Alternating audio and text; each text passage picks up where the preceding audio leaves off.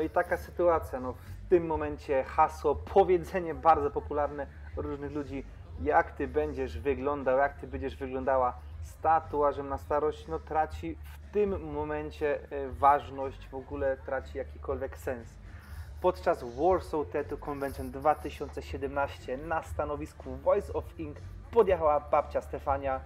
No, nie oszukujmy się, bądźmy realistami, już w podeszłym wieku i wykonała sobie tatuaż. Nie był to pierwszy tatuaż, był to kolejny tatuaż. Ma już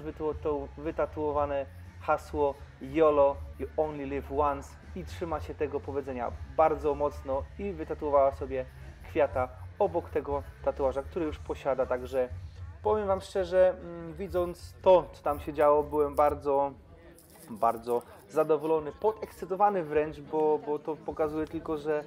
tak naprawdę starsi ludzie też jeszcze chcą sobie wykonać te tatuaże, bo ta świadomość już jest trochę inna. Na tym stanowisku był mały szał, zrobił się, no mały szał, bym powiedział nawet duży szał, bo zrobiło się zbiorowisko, ludzie zaczęli y, robić zdjęcia, filmować i zrobił się naprawdę